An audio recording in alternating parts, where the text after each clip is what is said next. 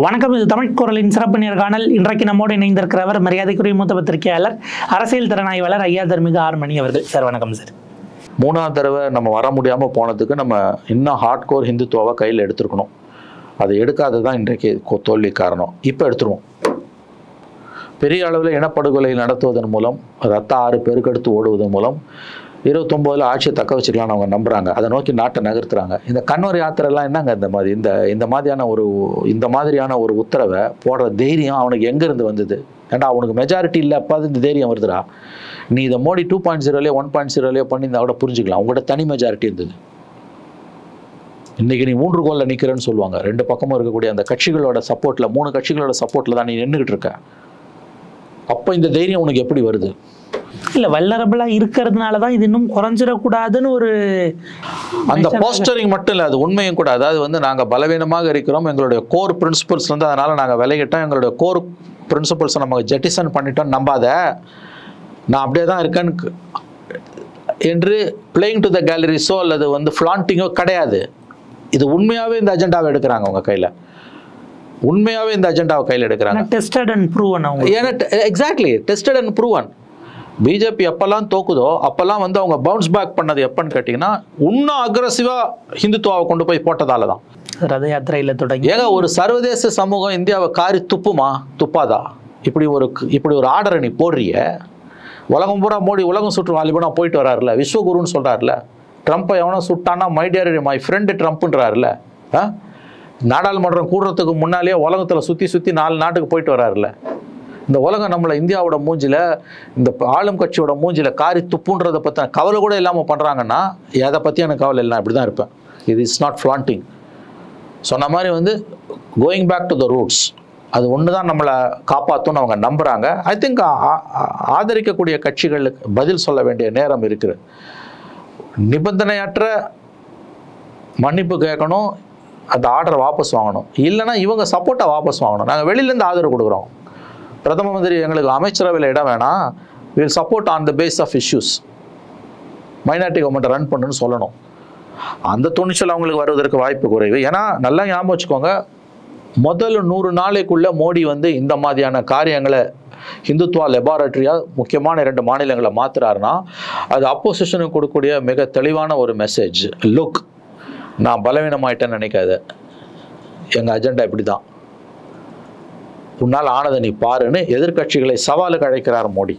கான்வர் யாத்ரா அப்படிங்கிற ஒரு யாத்திரை நடக்க போகிறது. அதனால அந்த வழியில் இருக்கக்கூடியவர்கள் எல்லோரும் கடைகளில் கடையினுடைய ஓனர் யார்? யார் யாரெல்லாம் வேலை செய்கிறீங்க உங்களுடைய தொடர்பு எண் இது சார்ந்த விஷயங்கள் எல்லாம் நீங்கள் பதிவு பண்ணணும் அப்படின்ட்டு உத்தரகாண்ட் கவர்மெண்ட் சொல்லியிருக்கிறது உத்தரப்பிரதேஷ் கவர்மெண்ட் சொல்லியிருக்கிறது. இது ரெண்டுமே மிகப்பெரிய அளவுக்கு அதிர்வலைகளை கிளப்பி இருக்குது நீங்கள் யார் யாருன்னு அடையாளம் காண்பதற்காக இதை கொண்டு வரீங்களா? அல்லது இது ஒரு கம்யூனல் ஹேட்ரடுக்காக டார்கெட் பண்ணுவதற்கு எளிமைப்படுத்துறதுக்காக நீங்கள் இப்படி ஒரு யாத்திரைக்கு நடுவில் கொண்டு போகிறீங்களா உங்களுடைய யூஷுவல் சோதனை செய்து வெற்றி பெறப்பட்ட ஒரு ஸ்ட்ராட்டஜிக்குள்ளே அடையாளம் காண்பதற்காக இந்த வேலையா அப்படின்னு பல விதமான கொந்தளிப்புகள் வழக்குகளாகவும் கூட போயிருக்கு. அடிப்படையில் இந்த சர்க்குலஸ் என்ன சொல்லுது? எதற்காக இப்படி ஒரு விஷயத்தை அரசுகள் செஞ்சுருக்குங்க சார் ஆமாம் இந்த கன்வர் யாத்திரான்றது ஆண்டுதோறும் போகக்கூடிய ஒரு புனித யாத்திரை. அது வந்து கிட்டத்தட்ட ஐந்து ஆறு மாநிலங்கள் வழியாக போகிறது. இது முதன்முறையாக உத்தரப்பிரதேச அரசும் உத்தராகண்ட் அரசும் அந்த வழியில் இருக்கக்கூடிய கடைகள் உணவு விடுதிகளில் வந்து கடையோட உரிமையாளர் இந்த கடையில் வேலை செய்கிறவங்க பேரையும் வந்து போடுன்றாங்க.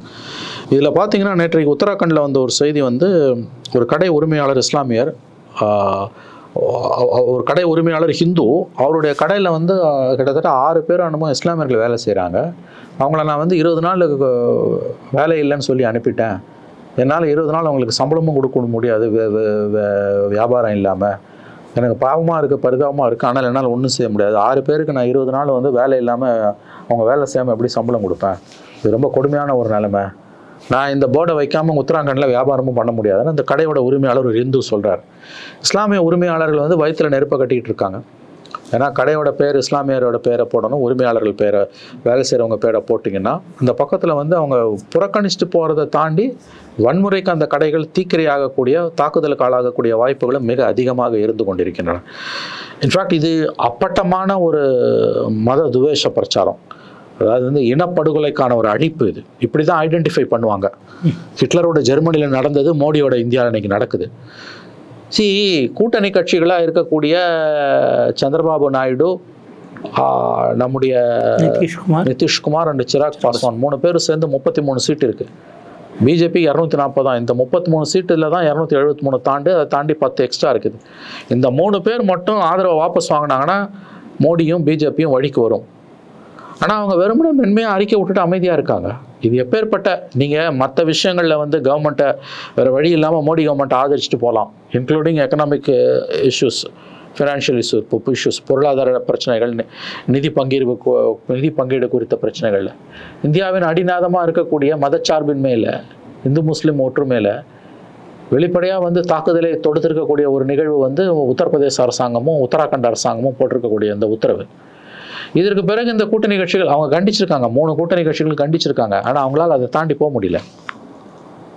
இவங்க ஆதரவில் தான் கவர்மெண்ட் நிற்குது இதுக்கு தான் ஒரு காமன் மினிமம் ப்ரோக்ராம் வேணுன்றது அதை மீறி நீயும் போகக்கூடாது நானும் போக மாட்டேன் அப்போ இன்றைக்கி என்ன வித்தியாசம் உங்களுக்கு? முந்நூற்றி மூணு இருக்கும்போதும் இரநூத்தி ஐம்பத்தி ரெண்டு இருக்கும்போதும் மோடி டூ பாயிண்ட் ஜீரோலையும் மோடி ஒன் பாயிண்ட் ஜீரோலையும் எவ்வளோ அட்டுழியத்தை அழிச்சாட்டத்தை பண்ணாங்களோ அதே தான் மோடி இப்பயும் பண்ண போகிறாரு அதே தான் பிஜேபி பண்ணிகிட்டு இருக்கு அப்போ இந்த கூட்டணி கட்சிகள் வந்து பதவிக்காக இந்த பாவத்தை எல்லாம் சுமக்க போகிறாங்களான்றது தான் நான் முன்வைக்கக்கூடிய கேள்வி. இல்லை இப்போ இந்த இடம் வந்து இன்னொரு விஷயம் மாயாவதி போன்றவர்கள் குறிப்பிடுகிறது. நீங்கள் இப்போ ஜாதியும் சேர்த்து ஐடென்டிஃபை பண்ணி தலித்ஸ்களையும் புறக்கணிப்பதற்கு அல்லது அவங்கள கிட்டத்தட்ட எக்கனாமிக் பாய்காட்டுக்கான ஒரு அறிவிப்பான எக்ஸாக்ட்லி ரொம்ப துல்லியமாக சொன்னீங்க. பொருளாதார பகிஷ்கரிப்புக்கான ஒரு அறைகோவல் இது. இது வந்து இனப்படுகொலைக்கு முன்பு வரக்கூடிய ஒரு stage economic blockade will always precede the genocide ஹிட்லரோட ஜெர்மனியில் நடந்தது இது. அப்படியே இங்கே நடக்குது இது. இதை வந்து மோடி த்ரீ பாயிண்ட் ஜீரோவில் பண்ணுறாங்கன்னா உங்களுக்கு எவ்வளோ தூரம் வந்து ஆணவமோ அந்த சாதி வெறியும் வந்து அதிகமாக உங்களுக்கு ஊடுருவி இருந்திருக்கும். இது நினைத்தே பார்க்க முடியாத ஒரு பாவ காரியம் அது. அங்கே இருக்கக்கூடிய அந்த சிறுபான்மையின மக்களோட நிலையை யோசிச்சு பாருங்கள் குறிப்பாக உத்தராகண்டில் ஏற்கனவே அந்த மக்கள் வந்து இல்லாத லவ் ஜிஹாது இல்லாத தீவிரவாதம். இதை இதை வைத்து அங்கே இருக்கக்கூடிய இஸ்லாமியர்கள் வந்து கடந்த பத்தாண்டுகளில் குறிப்பாக கடந்த ஐந்தாண்டுகளில் டூ பாயிண்ட் ஜீரோ மோடியோட டூ பாயிண்ட் ஜீரோவில் சொல்லனா கொடுமைகளுக்கு ஆளாகி இருக்கிறார்கள் பல கிராமங்களில் விட்டு மக்கள் இஸ்லாமிய மக்கள் வெளியேற்றப்பட்டிருக்கிறார்கள். அவர்கள் வீடுகளில் மாடியில் அவர்கள் தொழுகை நடத்தினால் கூட அது அக்கம் பக்கத்தில் இருப்பவர்களை இம்சை கொடுக்கிறது என்று சொல்லி வழக்குகளை போட்டு சிறையில் அடிக்கப்பட்ட கொடுமைகள் நடந்திருக்கு. இப்போ உத்தரப்பிரதேசம் முதல்ல போட்டிருக்கு அடுத்து உத்தராகண்ட் போட்டிருக்கு. உத்தரப்பிரதேசிலேருந்து பிரிந்து போன பிரிக்கப்பட்ட மாநிலம். இது வெளிப்படையாக நீங்கள் சொன்னது போல பொருளாதார பகிஷ்கரிப்புக்கான பொருளாதார புறக்கணிப்புக்கான ஒரு அறைகூவல். நினைவில் கொள்ளுங்கள் இனப்படுகொலைகளுக்கு முன்பு பொருளாதார பகிஷ்கரிப்புகள் நடக்கும். அதுதான் இன்றைக்கி நடந்துகிட்டு இருக்குது ஜெனசைடு எக்ஸ்பர்ட்ஸ் உலகம் முழுவதும் இருக்கக்கூடிய இனப்படுகொலை நிபுணர்கள் தொ- தொடர்ச்சியாக கடந்த ஐந்து ஆண்டுகளாக சொல்லி வருவது எங்களால் நிம்மதியாக இப்பொழுதெல்லாம் தூங்க முடியவில்லை. ஏனெனில் எந்த நேரமும் இந்தியாவில் இனப்படுகொலை வெடிக்கும் என்று நாங்கள் அஞ்சுகிறோம். அதை நினைவுபடுத்துகிற மாதிரி தான் இன்றைக்கி மோடியோட இந்தியாவில் மோடியோட த்ரீ பாயிண்ட் ஜீரோவில் இது நடக்குது. எப்படிங்க வந்து தனி மெஜாரிட்டி இல்லாத பிஜேபி அரசுக்கு இந்த கொழுப்பு எங்கேருந்து வந்தது? இந்த ஆணவம் எங்கேருந்து வந்தது? இது வெளிப்படையாக வந்து பொருளாதார பகிஷ்கரிப்புக்கான ஒரு அறைகூவல். எக்கனாமிக் பிளாக்கேடுக்கான ஓப்பன் கால் இந்த தைரியம் இந்த அறைகூவல் எங்கிருந்து இந்த இந்த கட்சி இந்த அரசுக்கு மாநில அரசுக்கு வந்தது. மத்திய அரசு தட்டி கேட்காதுன்ற ஒரு தைரியத்தில் தான் நீ இதை பண்ணுற ஏன்னா மத்திய அரசு அவ்வளோ பலவீனமாக இருக்குது ஐ திங்க் கூட்டணி கட்சிகள் சந்திரபாபு நாயுடு நிதிஷ் உள்ளிட்டவர்கள் வந்து லகானை இப்பயாவது பிடிச்சி இழுக்கணும். இல்லாட்டி நாளைக்கு அர அரங்கேற போகிற பாவங்களில் இவர்களுக்கும் பங்கு உண்டு. இவர்கள் கை இவர்கள் கரங்களும் ரத்தம் தோய்ந்த கரங்களாகத்தான் மாறிப்போகும். ஆக இன்றைக்கே வந்து இவர்கள் விழித்து கொண்டு இதை தடுக்க வேண்டும். முளையிலேயே இதை கிள்ளி எறிய வேண்டும். இது அப்பட்டமான இனப்படுகொலைக்கான ஒரு முன்கட்டம். அதற்கு முந்தின கட்டம் என்று தான் நாம் எடுத்துக்கொள்ள வேண்டும். சரி இப்போ இதில் இன்னும் ஒரு ஆங்கிள் இருக்கு. ஆல்ரெடி நீங்கள் பொலிட்டிக்கலாக அவங்கள சிங்கிள் அவுட் பண்ணிட்டீங்கன்னா உங்களில் ஒரு கேண்டிடேட் கூட இஸ்லாமியர் கிடையாது அப்படிங்கிற விஷயம் yes. இருக்கு. இப்போ அடுத்து எக்கனாமிக்கல் அப்படின்னா அதுக்கு அடுத்தது சோஷியலாகவும் ஆல்ரெடி அப்படி தான் இருக்காங்கங்கிற மாதிரி இருக்கு. இதுக்கப்புறம் அதுக்கு அடுத்தது ஃபர்தராக என்ன இருக்கும்? நெக்ஸ்ட் ஸ்டெப் அப்போ கிராஜுவலாக டுவர்ட்ஸ் எதை நோக்கி போறீங்க? ஏன்னா இப்போ சமீபத்தில் மத்திய அமைச்சர் கிரிராஜ் சிங் சொல்லுகிறார் இந்தியா நாடு பிரிவினை பிரிச்சப்ப இவங்களை அங்கே இருக்க விட்டது தப்புன்னு அவர் ஓப்பன் ஸ்டேட்மெண்ட் கொடுக்குறாரு. ஒரு மத்திய அமைச்சர் செட்டிங் அமைச்சர்னும் போது இதுக்கப்புறம் இந்த அதாவது இந்த எலெக்ஷனில் ஏற்பட்ட இழப்புகளை சமாளிப்பதற்கு தங்களுடைய கோர் ஓட் பேங்கான ஹிந்துத்துவாவை கன்சாலிடேட் பண்ணுறாங்களா கோர் ஹிந்துத்துவாவை ஹிந்து மத வெறியை எஸ் அப்படித்தான் நாம் பார்க்க வேண்டும். இது தொடரும் பட்சத்தில் அப்படித்தான் பொருள் கொள்ளப்படும். முளையிலேயே கூட்டணி கட்சிகள் கிளியறிய வேண்டும். நம்ம அக்ரஸிவ் ஹிந்துத்துவ பேசாதால தான் தோத்து போயிட்டோன்னு ஒரு ஒரு பரவலான கருத்து வந்து பிஜேபிக்குள்ளே நிலவுது. ஆக்சுவலாக இவங்க அக்ரஸிவ் ஹிந்துத்துவா வேறு மொழிகளில் பேசினாங்க. நாற்பது நாள் முஸ்லீம்களுக்கு எதிராக மோடி பேசிய பேச்சுக்கள் உதிர்த்த முத்துக்கள் வந்து அக்ரஸிவ் ஹிந்துத்துவா தான் ஆனால் நடைமுறையில் அது ஜெயிக்கலன்னு அவங்க இப்போ கவலைப்படுறாங்க. அதனால் வந்து பேக் டு த ரூட்ஸ்னுவாங்க எப்பயுமே இந்த மாதிரியான கட்சிகள் வந்து ஒரு தோல்வி கட்டத்தில் இருக்கும்போது when there passing through phase of defeats ஒரு தோல்வி கட்டத்தில் கடந்து போகும்பொழுது அவங்க புத்தி எப்படி போகணும்னா போகும்னா திருந்தணும்னு தோணாது இன்னும் மூர்க்கமாக போகணும்னு தோணும். அதான் ஆங்கிலத்தில் வந்து back to the roots. Going back to the roots இன்னும் அதிதீவிரவாதம் பேசுறது. மதவெறியர்களாக இருக்கிறதால மதவாதிகளாக இருக்கிறதால ஹிந்துத்துவா பெரும்பான்மைவாதிகளாக நாட்டின் பெரும்பான்மை மதவாதிகளாக இருக்கிறதால இவங்க புத்தி எப்படி போகும்னா இன்னும் அதிகமாக நம்ம எக்ஸ்ட்ரீமிசம் பேசணும்னா நமக்கு ஓட்டு கிடைக்கும். அத்வானியாக மோடி ஜெயிச்சாரு. இன்னைக்கு மோடிக்கு ஒரு எல்லாமே ஒரு சைக்கிள் தாங்க. ஞாபகம் வச்சுக்கோங்க. எக்ஸ்பைரி டேட் எல்லாத்துக்கும் உண்டு. பொருளுக்கு மட்டும் இல்லை மனுஷனுக்கு ஃபிசிக்கலாக மட்டும் இல்லை அவனோட இமேஜ்லேயுமே வந்து ஒரு எக்ஸ்பைரி டேட் உண்டு. தொடர்ந்து ஒருத்தன் ஜெயிச்சுக்கிட்டே இருக்க முடியாது. இதை ஞாபகம் வச்சுக்கோங்க. எப்பேற்பட்ட மனுஷனாக இருந்தாலும் ஸ்தாபனங்கள் சித்தாந்தங்கள். எஸ் தனிநபர்கள் ஸ்தாபனங்கள் சித்தாந்தங்கள் எல்லாத்துக்குமே ஒரு எக்ஸ்பைரி டேட் உண்டு. இது நிரந்தர சித்தாந்தம்னு எந்த கர்மமும் கிடையாது எந்த எந்த சித்தாந்தமும் அப்படி கிடையாது. காலப்போக்கில் எல்லாம் மாறி மாறி தான் மருவி தான் வரும். தனி மனிதர்களுக்கு ஆயுள் இருக்க மாதிரி ஸ்தாபனங்களுக்கும் ஆயுள் உண்டு. சித்தாந்தங்களை கூட நம்ம தள்ளி வைக்கலாம் அப்புறம் பேசலாம். தனிநபர்களுக்கு ஆயுள் இருக்க மாதிரி ஸ்தாபனங்களுக்கு ஆயுள் உண்டு. காங்கிரஸ் கட்சியை பற்றி இன்றைக்கி பேசும்போது நம்ம என்ன சொல்கிறோம் நூற்றி முப்பத்தொம்போது வருஷ கட்சி அது. ஒரு ஸ்தாபனம் ஒரு நிறுவனம் அது. இட்ஸ் அன் இன்ஸ்டிடியூஷன் நூற்றி முப்பத்தொம்போது வருஷம் ஒரு கட்சி இருந்ததுன்னா அதில் ஏகப்பட்ட கோளாறுகள் குறைகள் வரும். அதனால் காங்கிரஸோட தோல்வியில் ஆச்சரியப்படுறதுக்கு ஒன்றுமே கிடையாது. பிஜேபி காங்கிரஸோட ஒப்பிடும்போது நாற்பத்தாறு வருஷம் தான் காங்கிரஸில் ஃபிஃப்டி பர்சன்ட் கீழே தான் அதோட ஆயுள். அதுலேயே அவங்களுக்கு தோல்வி வருது. வரும். அதுதான் இயற்கை. அப்போ அவங்க இதை சரி கட்டுறதுக்கு என்ன பண்ணுறாங்க கோயிங் பேக் டு த ரூட்ஸ்னு போகிறாங்க அதுதான் ஆபத்தானது. இந்த ரொம்ப அவங்க ஸ்டாண்டர்ட்ஸ் படியே இது ரொம்ப அயோக்கியத்தனமானதுங்க. ரொம்ப ஆபத்தானது. உத்தராகண்ட்லேயும் ஊபிலையும் இன்றைக்கி வந்து அந்த யாத்திராவில் கன்வர் யாத்திராவில் வந்து கடைக்காரன்லாம் வந்து தான் பே கடைக்காரன் பேரை எழுத சொல்கிற சரி வேலை செய்கிறவன் பேரெல்லாம் எழுதணுன்றான். சிங்கிள் அவுட் பண்ணி அடிக்கிறதுக்கு. இன்றைக்கி சுப்ரீம் கோர்ட்டில் ரெண்டு பேர் பெட்டிஷன்ஸ் போட்டிருக்காங்க. சி இது ரொம்ப அதாவது வந்து விஸ்வகுருன்னு தன்னை சொல்லிக்கிற ஒருத்தர் ஜெயிச்ச அசம்பிளி பார்லிமெண்ட் செஷன் கூடுறதுக்கு முன்னாலேயே இத்தாலிக்கு பறகுறாரு ஜி செவன் ஜி செவனுக்கு அங்கே ஒன்றும் இந்தியா உறுப்பினர் கிடையாது. ஜஸ்ட் ஸ்பெக்டேட்டர் தான். இன்வைட்டி தான். அதுக்கு போய் அலறி பிடிச்சிக்கின்னு ஓடுறாரு மோடி. அமெரிக்கா போ ரஷ்யாவுக்கு போகிறாரு ஆனால் உள்ளூரில் இவ்வளோ மோசமாக இருக்குல்ல? இவ்வளோ மோசமாக இருக்குல்ல? இது அடுத்த மாதம் அமெரிக்கா போகிறாரு செப்டம்பரில் அமெரிக்காவில் ஐக்கிய நாடுகள் மன்றத்தில் பேசுகிறாரு ஆனால் உள்ளூரில் நிலைமை இவ்வளோ மோசமாக இருக்கா? இதை வந்து உனக்கு மெஜாரிட்டி இல்லாதப்ப இந்த மதவெறி அரசில் கையில் எடுக்க முடியுதுன்னா இந்த பாவத்துக்கு துணை போனாங்கன்னா இந்த மூன்று கட்சிகள் கூட இருக்க மற்ற கட்சிகள் வரலாறு ஒருபோதும் இவர்களை மன்னிக்காது. இவர்களும் சேற்று கழிவில் ஏற்றப்படுவார்கள். மக்கள் மன்றத்தில் கூண்டில் ஏற்றப்படுவார்கள். இவர்களும் சேர்த்து மக்கள் மன்றத்தில் கூண்டில் ஏற்றப்படுவார்கள். எழுதி வைத்துக் கொள்ளுங்கள்.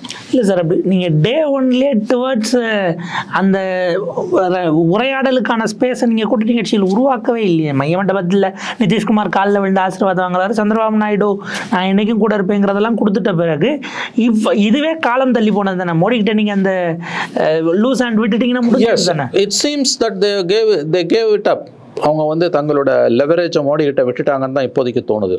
தங்கள் மாநிலத்துக்கு சில நன்மைகளை வாங்கிக்கிட்டா போதுன்றாங்க. இதை பாருங்க மாம், நிதிஷ்குமாருக்கோ சந்திரபாபு நாயுடுவுக்கோ அவங்க விரும்புறதுல பத்தில் மூணு பங்கு கூட மோடி கிட்ட கிடைக்காது. ஏன்னா அந்த அளவுக்கான அந்த எக்கனாமிக் பேக்கேஜ் ஃபினான்ஷியல் பேக்கேஜ்லாம் அவ்வளோ ஈஸி கிடையாது.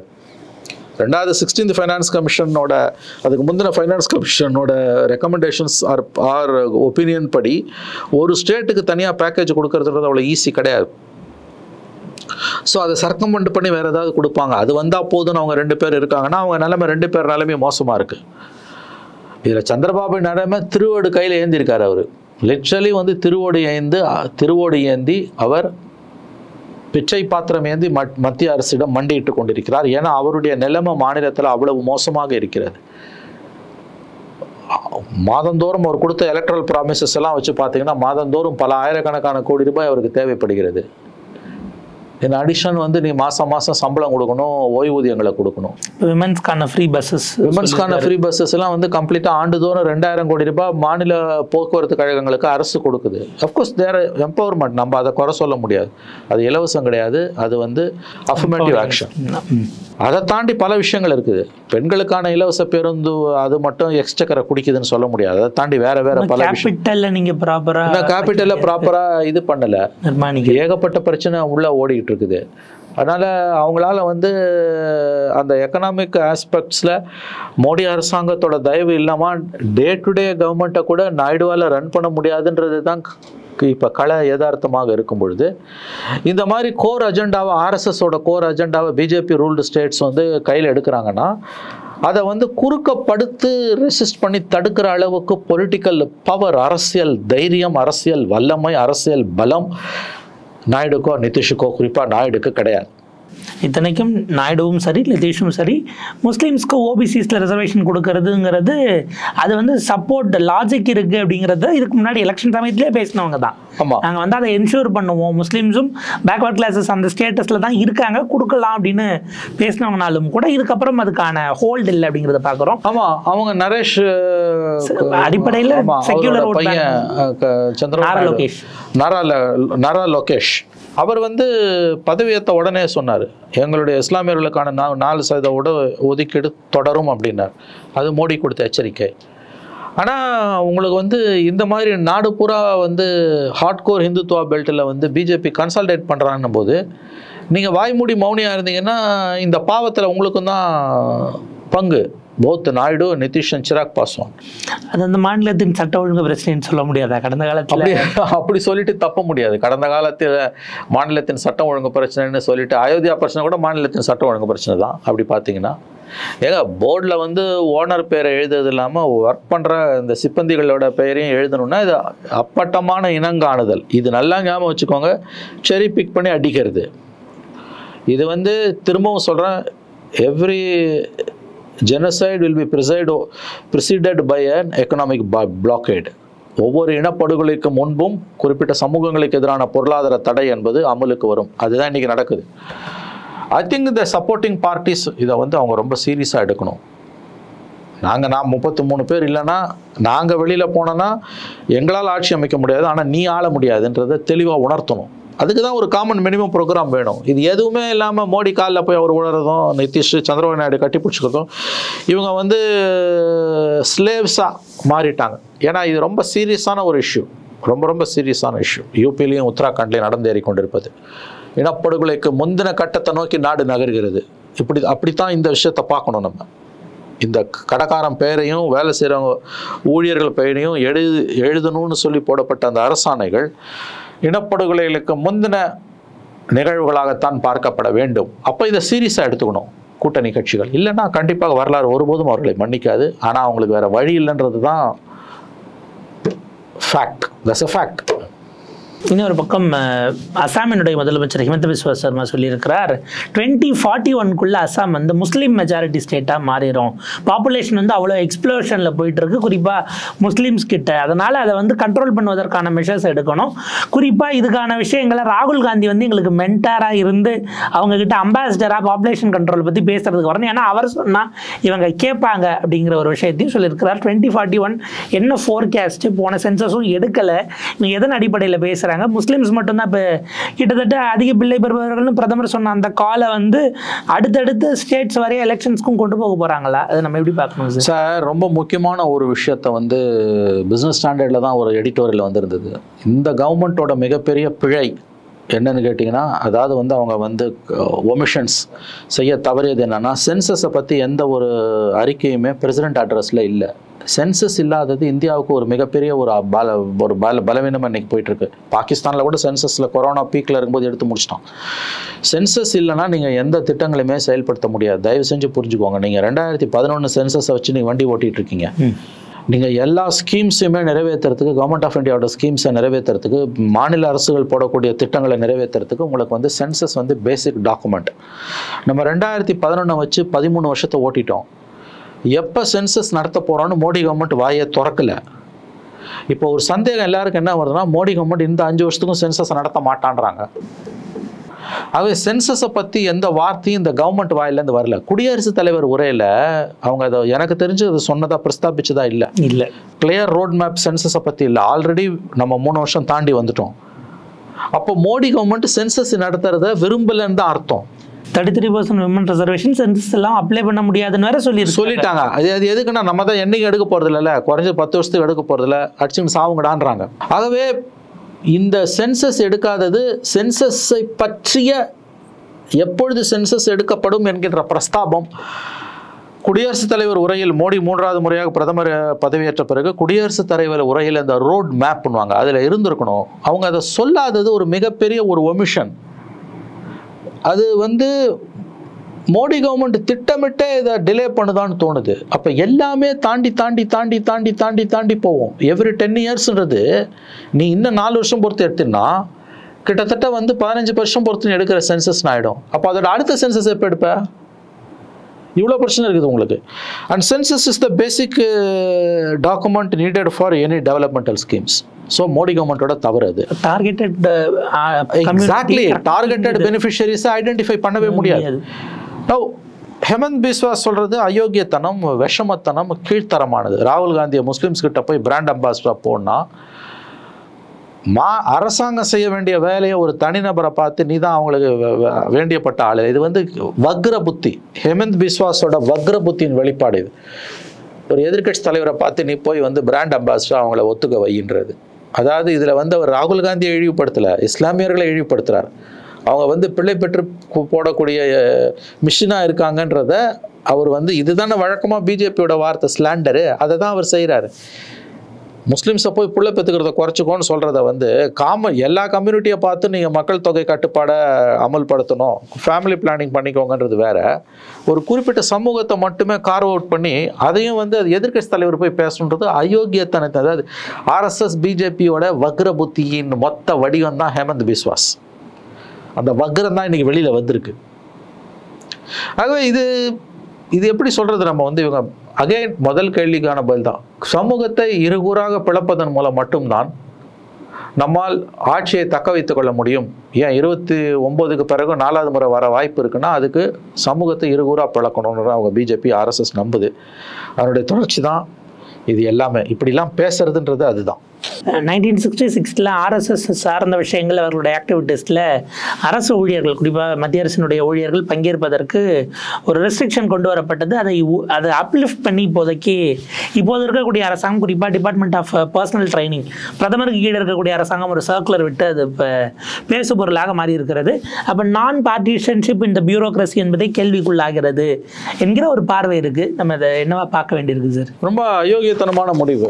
வாஜ்பாய் பீரியடில் கூட அதை செய்யலை ஆயிரத்தி தொள்ளாயிரத்தி ஐம்பத்தெட்டில் போடப்பட்ட ஒரு சட்டம் அது. அரசு ஊழியர்கள் வந்து ஆர்எஸ்எஸில் உறுப்பினராக இருக்கக்கூடாது. எனக்கு தெரிஞ்ச அரசு ஊழியர்கள் எதுலேயுமே உறுப்பினராக இருக்கக்கூடாது.